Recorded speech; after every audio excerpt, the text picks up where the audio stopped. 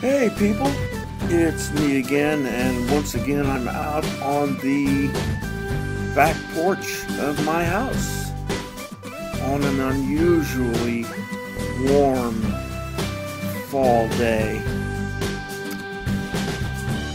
Some clouds have moved in, and it might rain out to the southwest, but I'm not sure. Still making plans to go to. Oops, sorry about that. Dog barking not far away. Sounds like one of those uh, ridiculous yappers.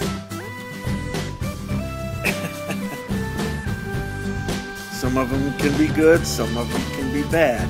Most of the ones that I've come in contact with are of the latter variety.